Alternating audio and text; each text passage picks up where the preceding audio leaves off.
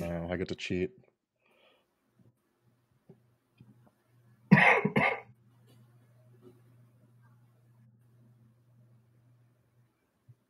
Ooh, that was good. All right. And we're live. All right. Uh, so we're here with uh, Mike Stay, uh, another fantastic uh, speaker for uh, virtual DEF CON Safe Mode. Uh, he is covering uh, how he recovered uh, a six-digit sum of worth of Bitcoin from an encrypted zip file. Um, and I guess uh, if you just want to like quickly go into your talk, spend just like a minute or two, uh, and uh, then we'll start asking you some questions. Yeah, sure. So, um, short summary is I used to work as a reverse engineer back in the late 90s. Um, I broke the zip encryption that was used by InfoZip, which was the open source version, and so everybody except PKZip based their their encryption on that. Um, particularly WinZip, that had like 95% of the market at the time. Mhm. And uh, yeah, so then 20 years later, somebody locked up their Bitcoin in a zip file that they made on their Linux box and forgot the password. Um, so they came to me and said, "Hey, I found your paper. What's the current state of the art? Can you help me with this?" and this is your first time talking at DEF CON, right? it is, yes. Yep. Uh, so we we've given him fair warning, but uh, there is a tradition for first time speakers of DEF CON. Uh, they get to take a shot with us on stage. Uh, QA session is the closest thing to a stage. So uh, thank you, Mike, for providing DEF CON with some wonderful content. And cheers to you, man. Thank you for having me. All right. Um, okay, so uh, I was I was actually kind of surprised. So um, I have never thought about zip encryption as being uh, something that would be difficult to get around. Uh, you did go into a couple of different types of encryption. I was also surprised that like, well, I wasn't surprised that early word uh, was as difficult as it was, but I later on the the 40 bit encryption that was just really difficult to brute force that one kind of surprised me do you have any other uh, have you worked with any other type of encryptions that have been surprisingly difficult to like get into for being such a legacy weird proprietary protocol Um, let's see. There were a couple where they clearly knew enough um, to be dangerous, but then then completely screwed it up. Like uh, early WordPerfect. Um, you know the the founder of the company had broken that one himself and then uh, when they released their new version saying oh now we're using strong crypto nobody will be able to break this he went in and found that they took the password and then ran it through DES in the wrong way and got out some vector and then just XORed their file with it or something ridiculous like that. So they they had DES, but they didn't use it right. it was so close just just Yeah, just didn't um, quite quite there it. were ones like um, Microsoft Access 97, I think, was one where they had RC4 encryption, but it was a fixed key. And so they would RC4 encrypt the file with this fixed key, and then you'd go to this offset in the file and, and look up the password, and it was just sitting there in plain text. Ah, that's Oops. Now, uh, some of the details might be off. It's been 20 years, yeah, but yeah fair, that's fair, fair. I'm- Uh, so, So- what, oh, go ahead go ahead Fallible. I, I want to ask a really, um, while we wait for people to come up with some really good technical questions to throw at you, I'm going to do one that, uh, um, all right. So let's say that I don't know everything there is to know about encryption out there. Um, let's say I want you to do, a, I'm going to ask you to do a similar thing that you did in your talk. And I know that uh, my password starts with a word and has some unknown thing after that. Are there things that I can provide you uh, that I might know about the password that will help you get through this, or um, does the encryption Yes. work in such a way that that doesn't? a dictionary attack, right? The, the product you're using has strong crypto. The the guys that built it knew what they were doing. Then pretty much a dictionary attack is the only option you've got left. And so um, there are specialized attack software that you can get. One of them is called Hashcat. Uh, it's built for running on GPU farms. That was what we were originally looking at as maybe writing a hashcat module for this. But it's really designed for processing a key space. Um, and so you can give it a dictionary. You can then say, take this and um, then do all alphanumeric strings up to length six after it, or take this and try all different capitalizations, replace um, vowels with numbers, say, you know, an I goes to a one or an O to a zero and so on, E to a three.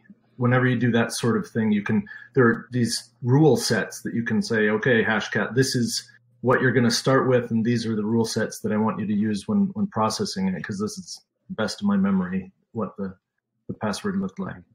On the other hand, if you're doing something like correct battery horse staple from XKCD, you've got too much entropy. And that's really the way to protect your files if, if you're doing something is just make it longer, mm-hmm. right? Because if you go from um, 26 characters, which is you know all lowercase letters, um, to 97, you've roughly tripled. That's adding uh, two bits um, per character to your to the entropy, right?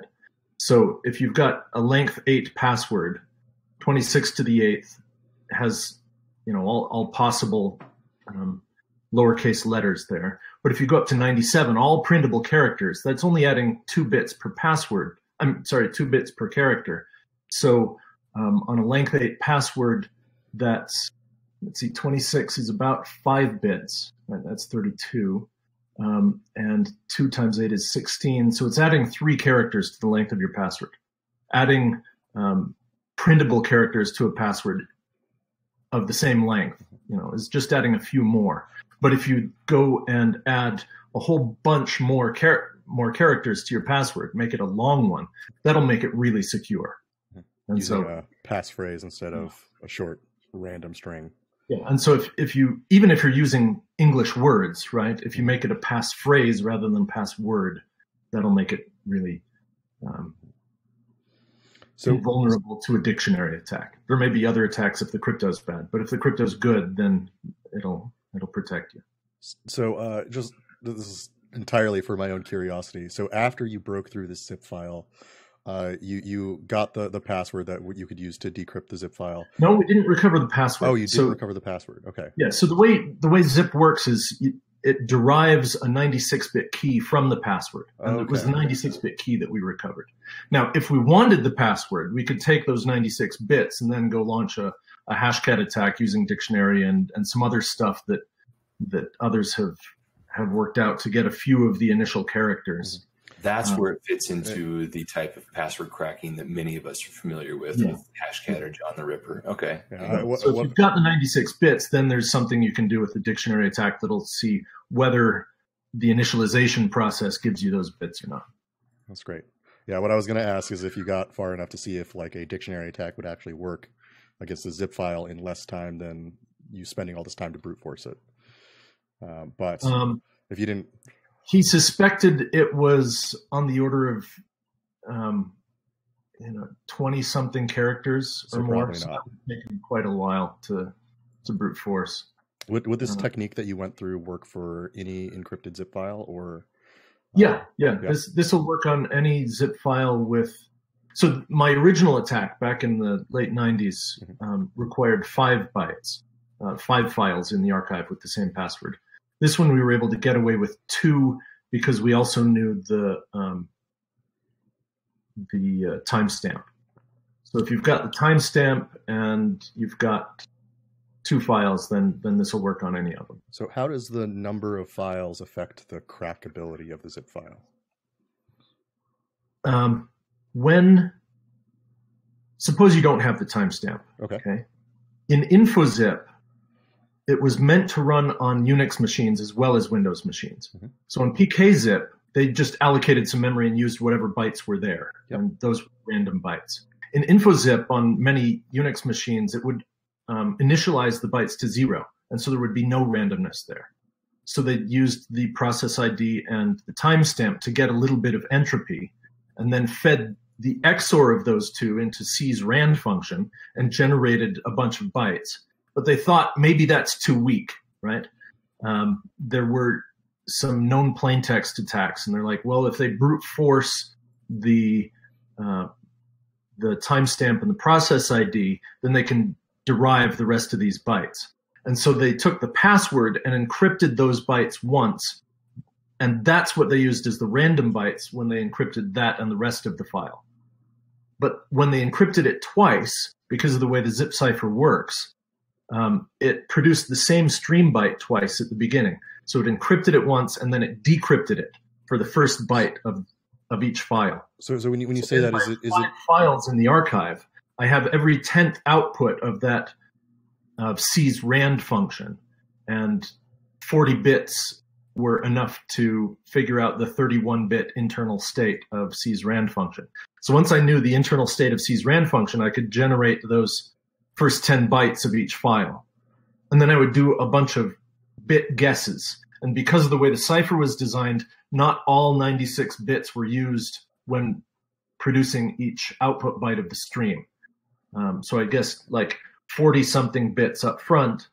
And then because I had five files there and I knew what those bytes had to be, I could filter all of those bits. I could say, I've got to know which of these 40 uh, bit guesses are correct before moving on to the next stage. Got it. And so by having five files, I could both derive the internal state of C's RAND function and filter my guesses and finish one stage before moving on to the next one.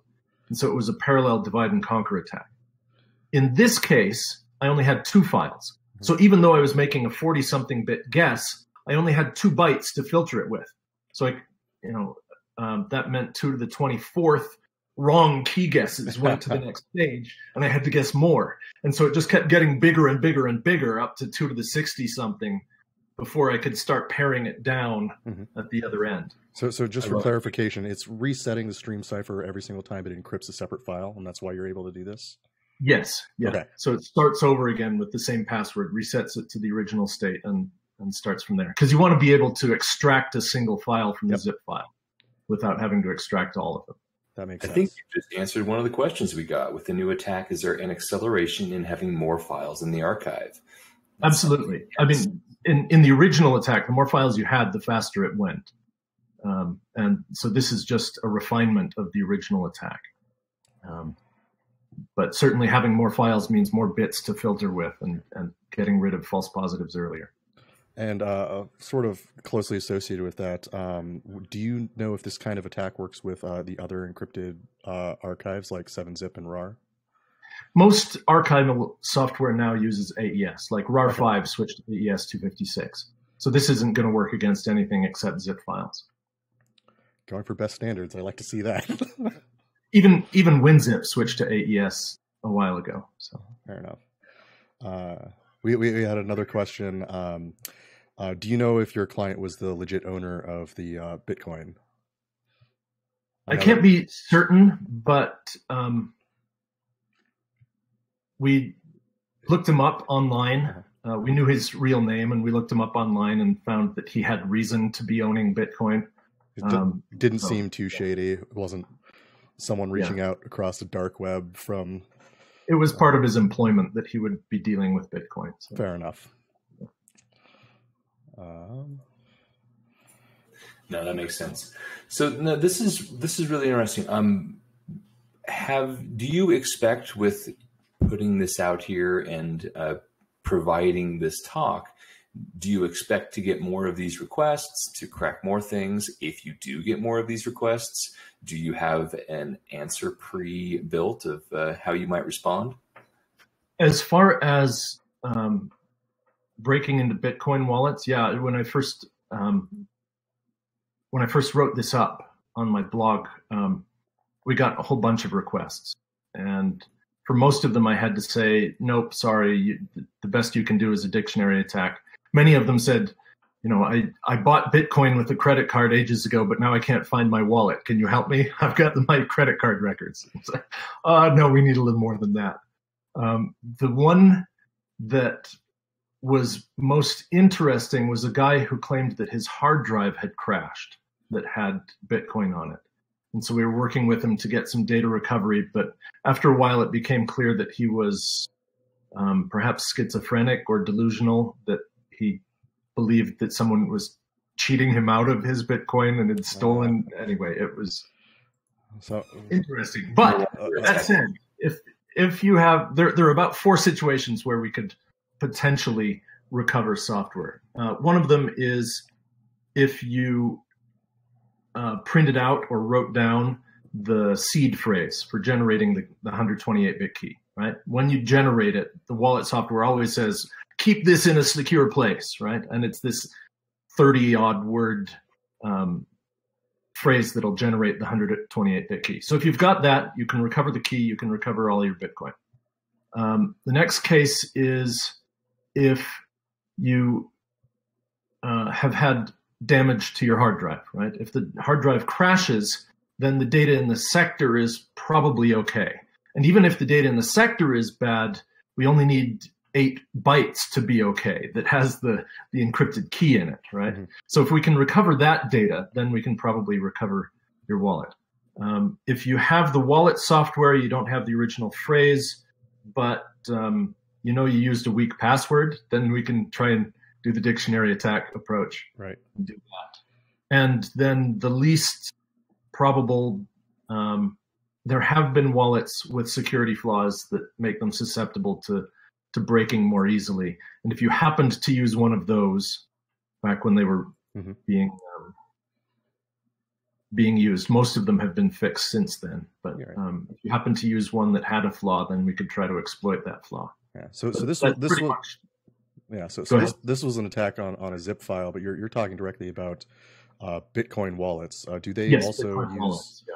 do they also use uh, some zip like structure? Have you attacked the Bitcoin wallets themselves? Um, like So the Bitcoin wallet uh, takes the key, the the private key information that you sign your transactions with, and a password, and generates a symmetric key from the password and some salt, and then encrypts the private key.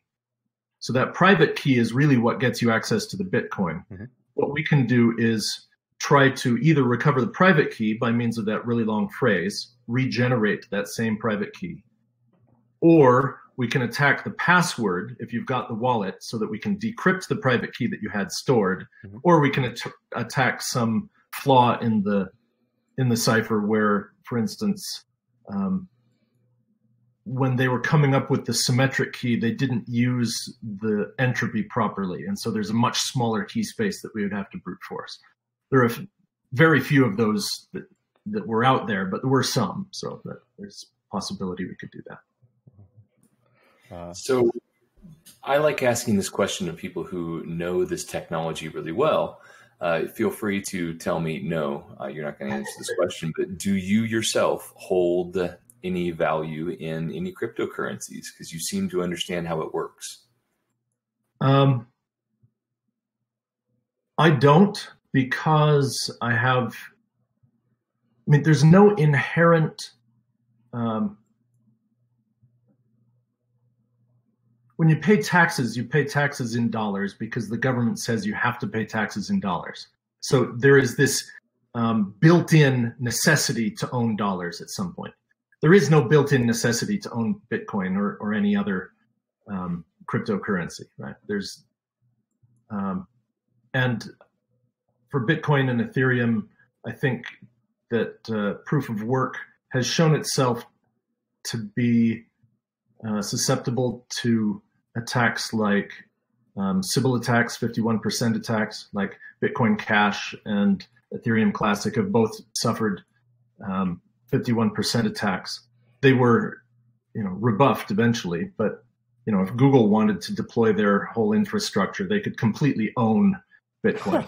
there, there are existing um, companies that, that could do that. Not to mention nation states, right? If the Mhm. if the U.S. wanted to take it down, they've got this thing in Tooele here in Utah that they could deploy against um, taking down Bitcoin. So um, my personal take, and, and we designed a system um, to do this, is that you need to use a consensus algorithm with true finality. That um, proof of stake and bandwidth, uh, and then after a certain point, when you have enough witnesses, you say this block is finalized and it can't ever change. Ethereum is trying to move in that direction with their proof of stake algorithms, but um, I, I've I don't of- know any Yeah, I've heard I've heard of proof of stake, but um, the finality piece is uh, new to me. Um, You've definitely given me a few pieces already that I'm going to need to go Google. uh, so we, we, got another question. Uh, it's sort of a, a meta question. Uh, the uh, one of one of the people that watched your talk uh, had a little bit of struggle following your math. They understood uh, all the aspects individually that you talked about, uh, but zooming back out, they seem to like lose pieces in their head, uh, and they they want to know, um, it's like, how do you juggle this, and like, are you aware that some people that like follow your talk might have difficulty zooming in and out like that? Yeah. So. Um... I had some options when when doing this talk. One was to go really deep and really hard on the technical stuff. Another one was to give enough background and and the basic idea of how this attack played off and the challenges we we faced. And so I chose to be less uh, detailed for the sake of the story rather than Fair. go deep into it. Um, so if anyone has any technical questions, take them offline. I'll be happy to talk through them with you and point at lines of code and that sort of thing. That's great. That's awesome. Uh, is there uh... as far as keeping it in my head? Um, I would have to wake up and then come down and reload everything. I had stuff on whiteboards all over my office, pictures. It, it was a process. I would even have to remind myself about what was going on because I couldn't keep it all going at, at once. And and it was a months long process of trying to think through over and over again how things are going wrong and what I might be able to do to to fix it. So if if you don't get it from one short 45 minute talk, I, I certainly don't blame you. Makes sense. Uh, did, did, you discuss this at the end? I, am I'm, I'm sorry I missed this point. Uh, did you actually get any compensation for this work? We did, yeah. So when when he first talked to us, we said we'd like so much up front. Um, we estimate that the total cost will be about this much. Um, we took longer than we said we would. Uh, we expected it to be done in three months. That was October, so November, December, January. It was April before we actually, late March, before we actually got the key back. But because of all of the extra cryptanalytic work that I did, it took a tenth of the time on the hardware. So um, the, the hardware cost ended up being only roughly 10, 15 grand as right. opposed to the 100 grand that we thought it would take at the beginning. so he gave us a big bonus afterwards, which was nice. Yeah, uh, I uh, I actually missed this. Um, uh, another one of the the speaker goons was uh, mentioned that it was on AWS, um, and they want to know if the the 10 to 15 was about what you were expecting from compute cost. No, we, we were expecting it to take far more, right? The original estimate was around 2 to the 64th work, which is comparable to finding a collision in SHA-1, which is um, 100. Sorry, SHA-1 was 160. MD5, MD5 right, was a 64-bit thing, um, and there were um, there was some recent work where to find a collision they had to deploy an enormous amount of work to do it. I guess MD5 they were able to do because of flaws in the site in the in the hash function. Um, SHA-1 took roughly 100k of of uh, GPU time to to break, and so we were estimating it would be comparable uh, to do this. And uh, th- is this is uh, what your company does, like data recovery, or is it specific to crypto Not stuff? originally. Um, originally, we were working on a distributed operating system. Um, we could get clients interested if we can get in the door, but it was right at the time when cryptocurrency was taking off, and we didn't have to talk to anybody to get them into.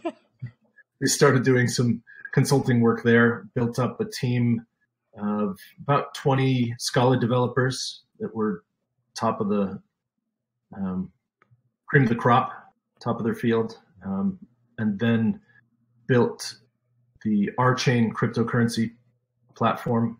Um, RChain started having some financial troubles, so we allowed them to hire the devs early. We had a contract that we'd hold on to them for a while, and then they could hire them after they'd worked for us for a year. Mm-hmm. But we let them hire them early. Uh, so they've taken over the dev team. Um, and then we started working on some other things, and this particular consulting job came up at a nice time and was a whole lot of fun. So we took it. But right now we're we're looking for any interesting consulting work that people have. So that was exactly what I wanted to segue into. Now that uh, you've done this talk, um, what is? Do you have another research item on your uh, to do list that you're trying to aim at?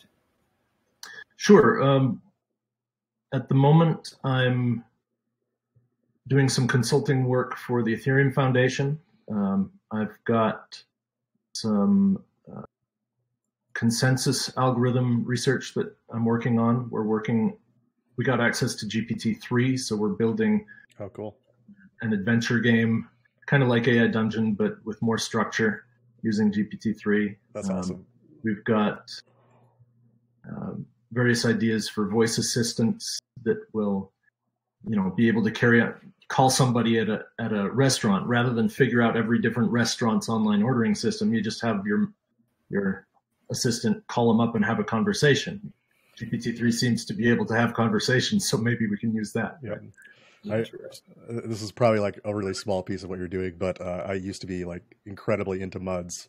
So an adventure game that's generated by GPT-3 sounds interesting. Yeah, so we're working on um, the room generation, uh, for quests, we'll have things like you have to convince this character to give it to you. He's got oh. desires and and needs, so you know you'll you'll have to be role playing while you're doing this game, uh, interacting with with these characters. Yeah, there there is uh, a person that goes by the handle Evil Mog is running a DEF CON uh, CTF mud uh, right now. Just a shout out to to him. We are um, really close to being out of time. There are a oh, lot yes. of questions over here about specific pieces, specific technologies. I think I'd like for uh, people to bring those to you um, on a less moderated basis. So we'll we'll let those go for now. Um, before I let you go, I want to know what is the thing that you would like us to take away from this. If there is a, a, a final idea that we should walk away from your talk. Um, that attacks on cryptography only get better. Right? Uh, at the time MD5 was proposed, 128 bits for a 64-bit attack was inconceivable, and yet within five to 10 years, they were able to attack that one. And then SHA, there are attacks. Um, AES with the biclique attack, uh, they've now broken, I think, seven or eight of the 10 rounds um, if there is something that you need to keep secure, choose the best software and have a plan for upgrading your crypto in any product that you put crypto into. Because the attacks are going to get better. You'll need at some point to transition from the broken system to a new one. Um, and so you, that will come up during the lifetime of your product. So be thinking about it. That's definitely good advice. um, Fallible, you got any more questions you want to sneak in under the hood? No, I think I'm good. I really appreciate the work that you've done here, and thank you for coming to present and, and giving your time, you so much to, for your time to this Q and A session. Um, yeah. There are some more people that have some more questions coming in. If you're willing to do so, if you would put your contact information in the Track One uh, channel on Discord here, we will uh, get that out there. Um, folks can can look you up if you're willing to be available to that. Uh, I also recommend you put all of your your company information if you're willing to do so, because um, that's a good way for people to find you for those contracts you were talking about. Great, thank you very much. All right. Absolutely. Take care.